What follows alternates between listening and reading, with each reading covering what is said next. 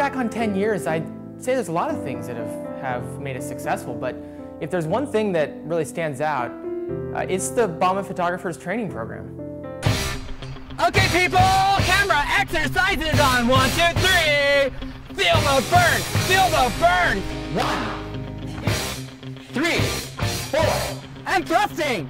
Here we go. Feel the burn in your loins. And six, and clap, and one, and two, and three, and four, six, and seven, and eight, and one. My left is burning, and it feels fantastic. It feels fabulous. Standing, and standing, and spinning, and sitting, and leg up, and leg up, and yes! It was really the influence of Bronson, and it was designed to, to get us to be the best shooters we could be. Click that mouse, and click that mouse, and click that mouse, and click that mouse, and clap, and clap. Now you're spinning. Stand up, and you're spinning, and you're spinning. Zoom out, zoom out, zoom in, zoom out, zoom out. You're in the camera, be the camera. He's not the nice guy around the studio, but he sure makes, uh, he sure makes us get things done. Curl those cameras like you mean it. It's hour 10 of the and you've been shooting for 10 hours, but you don't care. Lift them. Lift those cameras. And edit that photo. Edit that photo. that mouth. that mouth. That mouth. And down and give me five. One, two, three.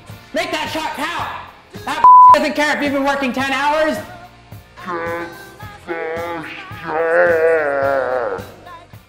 They're a bit unorthodox, but they work.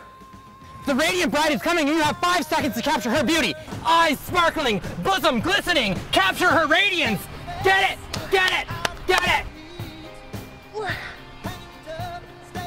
Shoot like an You're an animal. Shoot it, shoot it, shoot it.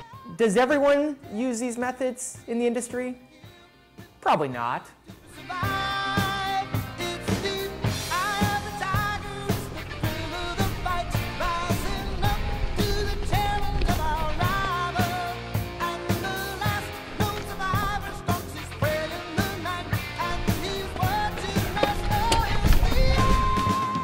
At the end of the day, it really comes down to results.